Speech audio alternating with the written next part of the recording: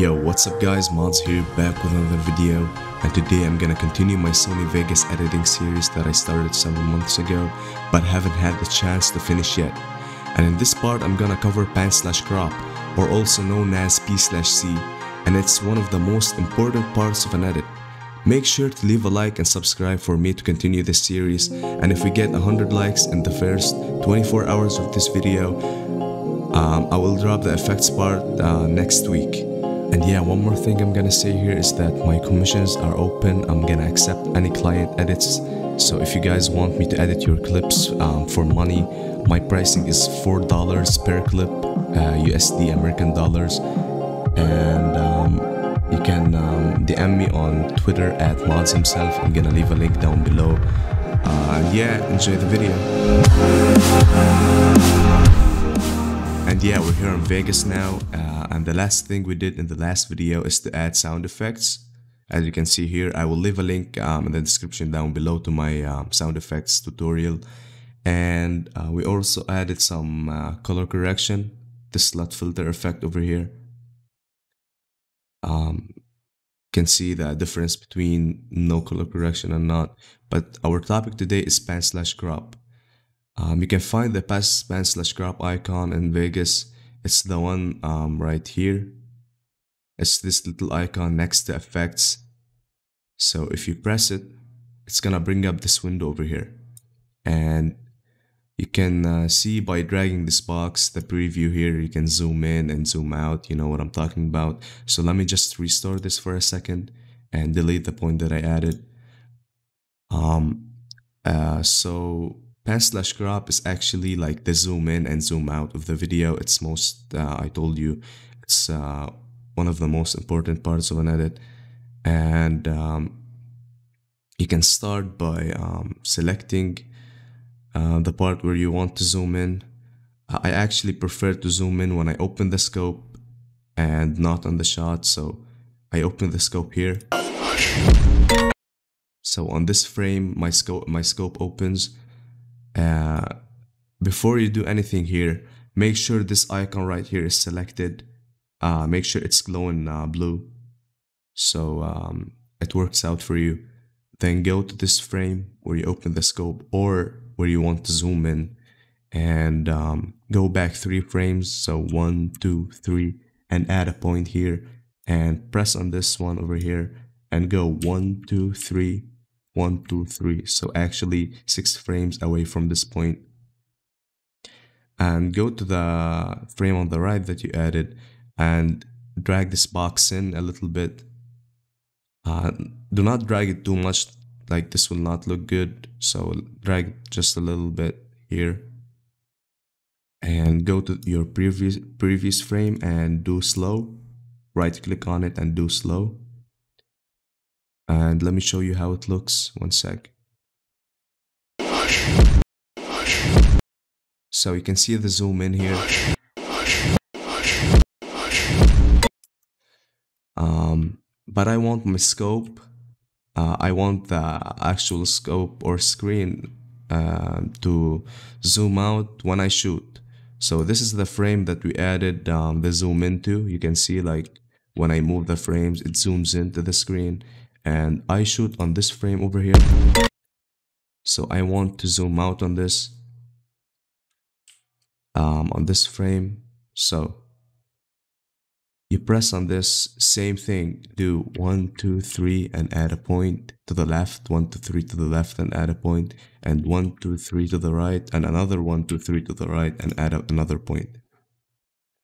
And as you can see this point is zoomed in right here go to the other point it's also zoomed in but like zoom it a little bit more just a little bit uh, don't zoom it too much then go to this one and do smooth smooth fade then go to this one um, and do fast fade and go to the last frame that you added uh, last uh, actual point and drag it out a little bit not uh, all the way but like drag it out so you can zoom out of it and do um, uh, you don't have to do anything for this just keep it as it is now let, let us preview this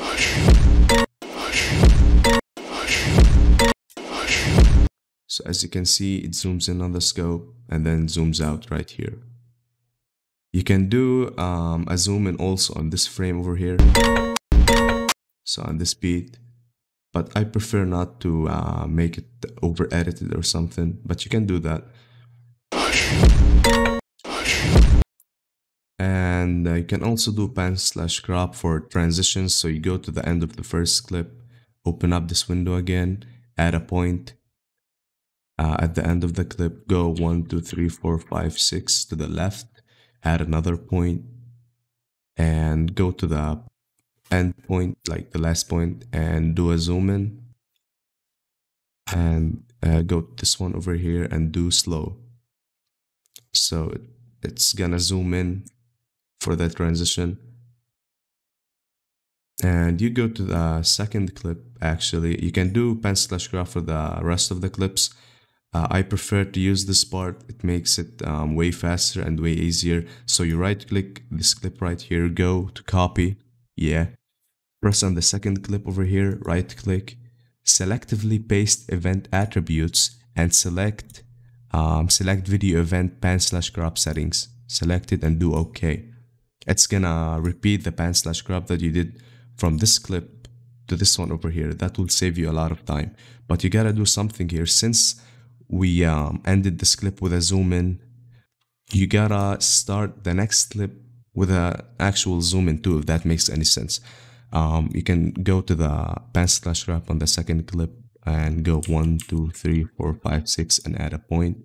Go to the first point that you have and zoom in a little bit to like this part over here. The same zoom as you did here. So this zoom over here, you can do right click, copy on this um, point over here, go to the next clip and paste it at the start. So copy. And then um, paste it over here too so you have the same one at the start and six frames to the, to the right and zoom it in a little bit more and do fast fade on the first um, point over here. Um, but if you can see here this frame doesn't match this frame. This frame here is zoomed out of it and this one is zoomed in. You gotta fix that. Um, so gotta zoom in on this one over here. So this one is zoomed. This one is a little bit um, zoomed. And um, this one should be a little bit zoomed. So I know this is confusing but you'll get the hang of it once you do it more. Uh, I didn't like under understand it from the start. So so this starts in zoom zooms in a little bit more.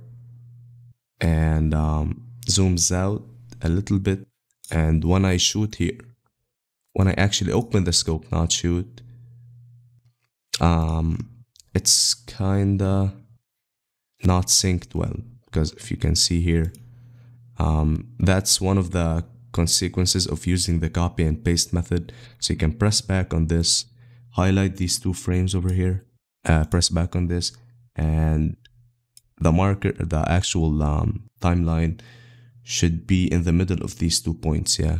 And you gotta do it for the rest of the ones. So let me just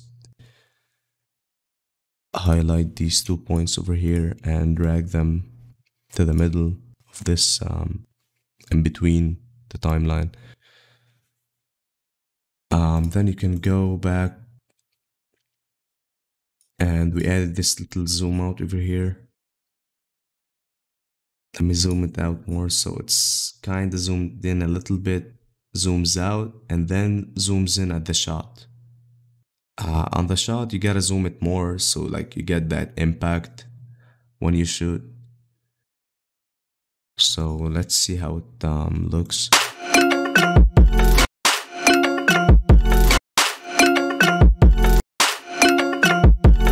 So that's um, that's so good for me like it looks professional and um, actually looks good. And then uh, you gotta do it for the rest of the edit uh, do it like copy and paste it to the clips. And I want to finish this clip before I haven't finished yet so you go to this over here. It's kind of zoomed in on the shot.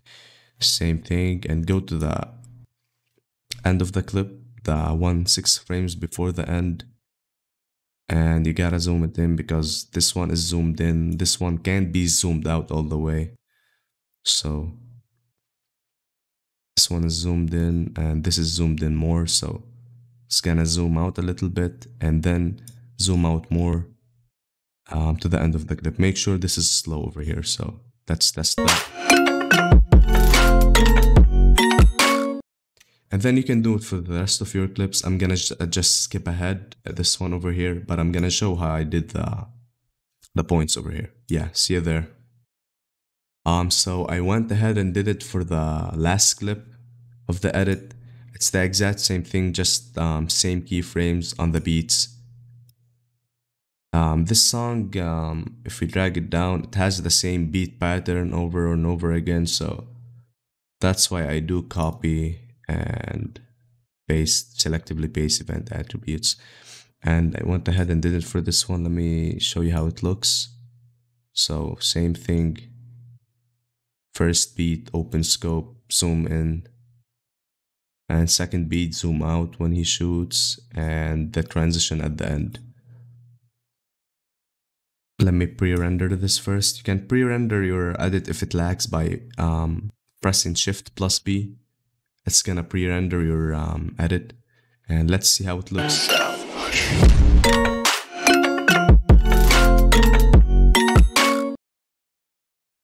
And yeah you can't get it better than this. I mean you can probably get it better than this um, by um, like improving the points and improving the zoom um, getting it right every time. But like this is a tutorial so i'm i'm just um, letting you know how to do it. You can like do stuff by yourself and see how looks good what looks good.